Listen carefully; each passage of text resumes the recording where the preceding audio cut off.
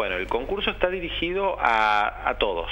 Eh, no, hay límites o condiciones para participar, excepto si la, única condición uno lo ve en las bases es no estar directamente relacionada con la organización del concurso y con la toma de decisiones después en lo que es eh, elección de ideas y, premiación.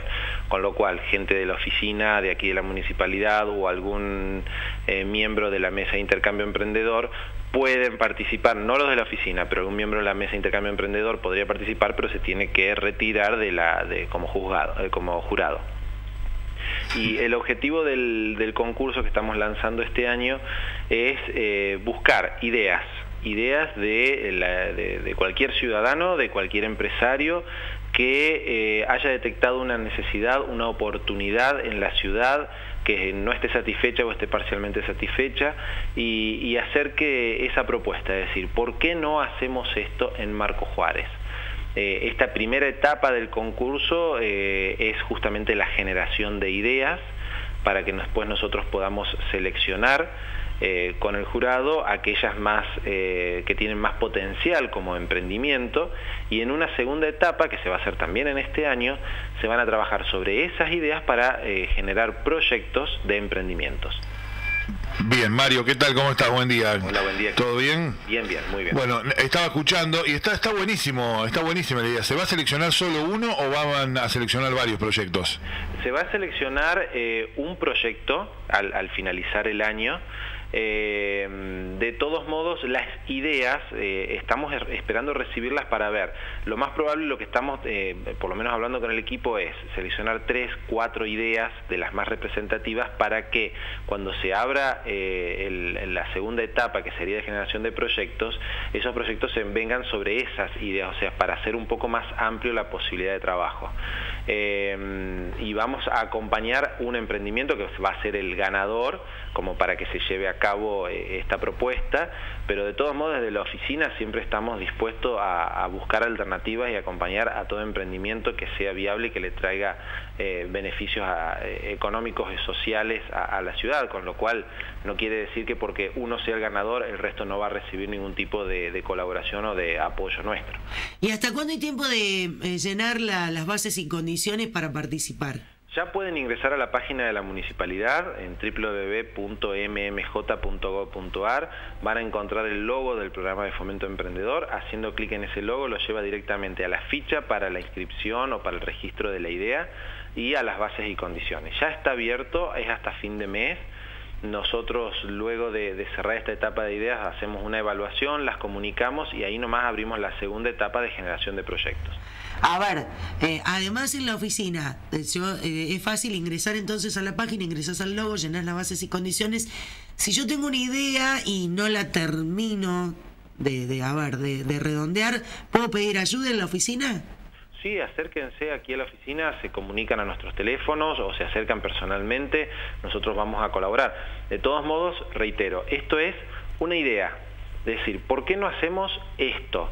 No quiere decir que en esta etapa ya traigan la propuesta de solución, ¿se entiende? Eso va a ser en la segunda etapa. Que la idea puede, la solución a la idea o el proyecto que, que responde a esa idea la puede dar el mismo que generó la idea, tranquilamente, o puede ser otro, ¿no?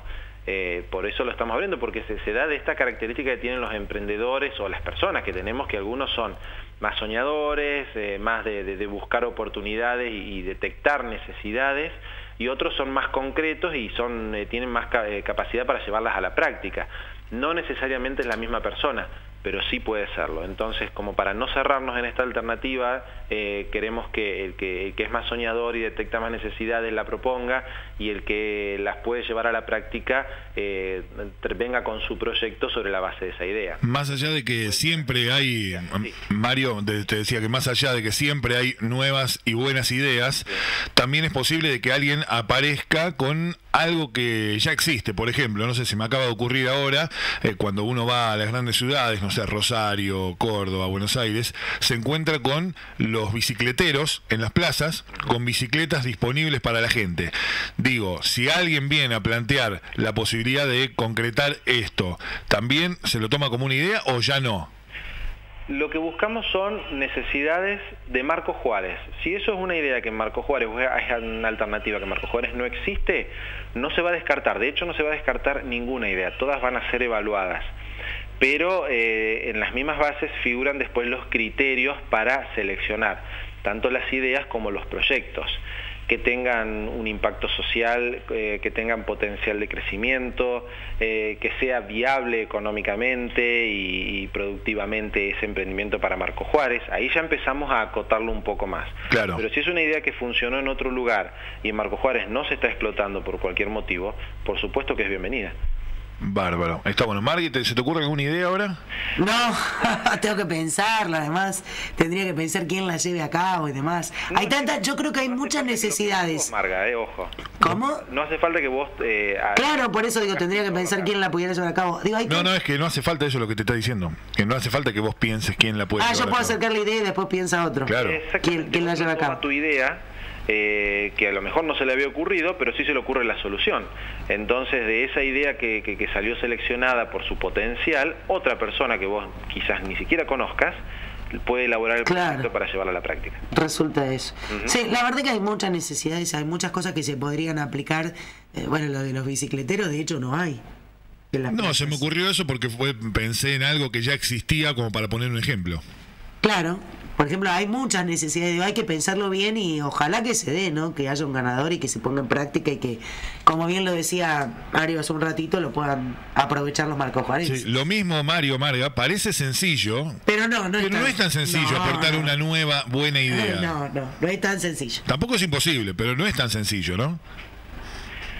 No, eh, de todos modos que confiamos en que hay muchas y, quizás no se animan, no se animan a, a compartirla. De hecho, algo que nosotros estamos recibiendo de parte de los capacitadores, porque a través del programa todos los meses estamos ofreciendo para los emprendedores jornadas de capacitación en diversos temas, los últimos han sido sobre costos específicamente, y los capacitadores eh, continuamente, tanto este año como el año pasado, decían, compartan las ideas, compartan los proyectos, todos somos celosos, todos lo somos, me incluyo, ¿no? A veces en compartir una, propuesta por diversos temores que podemos tener, ¿no?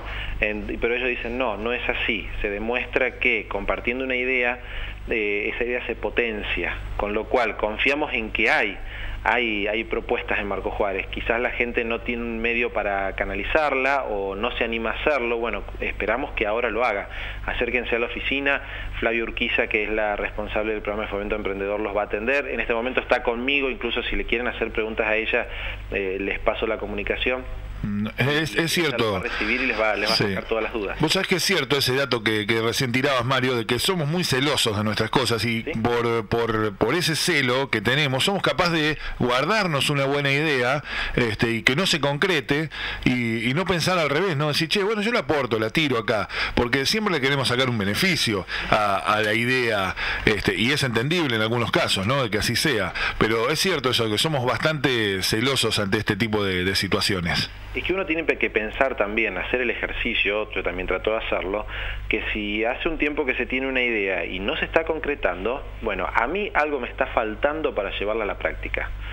No soy yo o no son mis condiciones en este momento, no es la situación mía la que me, impide llevarla a la práctica, pero otro quizás sí la pueda hacer. Entonces, ¿por qué no eh, compartirla y junto con el otro eh, llevarla adelante, que de esa idea seguramente van a surgir otras, porque tampoco tenemos que pensar que es la única que nos va a surgir. ¿Por qué no que ese sea un disparador para otros nuevos proyectos y mucho más interesantes? Bien, Mario, la última y, para terminar.